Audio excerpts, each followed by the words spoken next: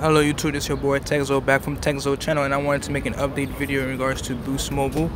Uh, so with the new update in regards to the uh, network deprioritization and possibly throttling to 2G speeds, uh, there's been some people saying that it's already been going on and I just want to clear something up. So pretty much with Boost Mobile Unlimited plan, it is truly unlimited. I've been with Boost Mobile for a little over two years now and pretty much I'm with the um, $40 plan, unlimited plan. And as you guys can see here on the details of under unlimited data, you see it says 4G LTE unlimited and 2G unlimited. Since my 4G LTE is unlimited, I've never experienced 2G speeds. Um, and right now I'm gonna go into my settings right now and show you guys that uh, my data usage at the moment is at 56.7 gigabytes. So let's just say 57 gigabytes.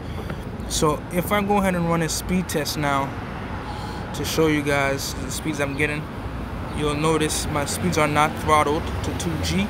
So this might possibly start uh, on the 1st of July.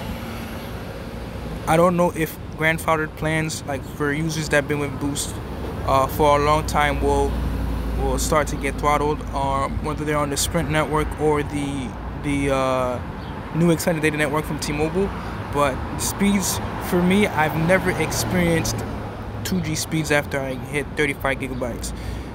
Alright so as you guys can see here my speeds are still LTE in this case here is LTE plus almost 200 megabits and 17 megabits almost download. Let's just run another speed test again.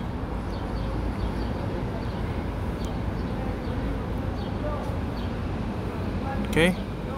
So my, my speeds have not been affected the only thing is, when I reach 26 gigs or I think 35 gigs, I think I think it's both of them. I'll receive a text message from Boost stating that I've used you know 26 gigabytes of high speed data. Once I reach 35, I may be deprioritized. So as you guys can see here, my speeds are really good. It's not been impacted. Um, it's truly unlimited. So starting July 1st, that might change, but as of right now, Boost Mobile is truly unlimited. Thanks for watching this video. Please leave a like, comment, and subscribe. I'm out.